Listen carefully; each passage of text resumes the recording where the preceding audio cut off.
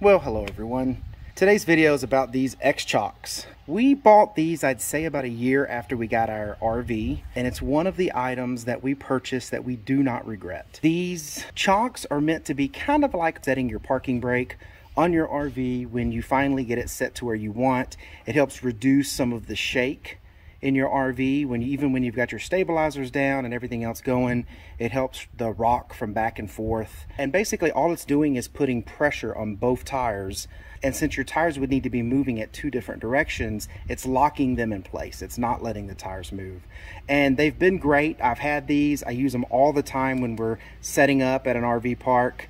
You back into your RV spot and what I usually do is I will put the tongue jack down and figure out exactly how I want everything settled. And before I completely unhook it off the truck, I will install these and they really lock this thing in place. These really do stiffen your RV up pretty good. When you put your jack down, you unhook it from your, your tow vehicle, this trailer doesn't move. They haven't rusted on us. They've, we've had these, like I said, as almost as long as we've had the RV, they haven't rusted. These come in a two pack, uh, basically one for each side.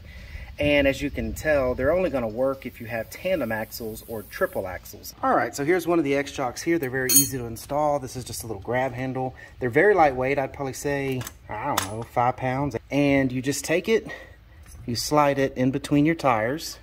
This one I did not uh, loosen a lot, but you slide it in between your tires like that and line them up, make sure they're nice and in the middle. And then you take the wrench and put it there like that's going to be loosening it.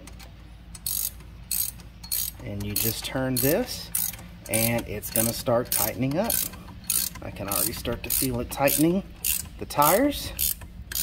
And again you can tighten this as tight as you want. You can put them really tight it's putting a ton of binding pressure on it but you don't need to put these real tight. I mean they they serve their purpose at a medium tightness. Now this wrench does not come with these chocks. It has its own little wrench that's that's pretty much just like this. I actually lost it.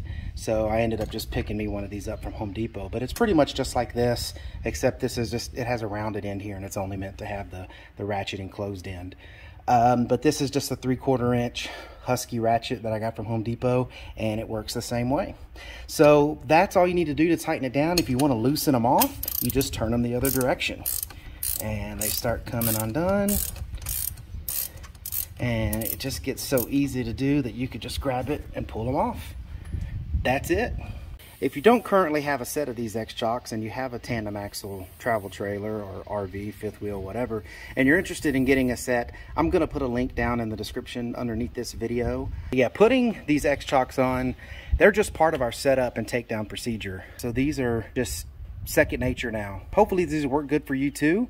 If you like the video, please give it a thumbs up. Go ahead and subscribe to the channel if you would. It's that red button underneath the video that says subscribe. It's absolutely free and it really helps us out. All right, well, until our next video, thanks everyone.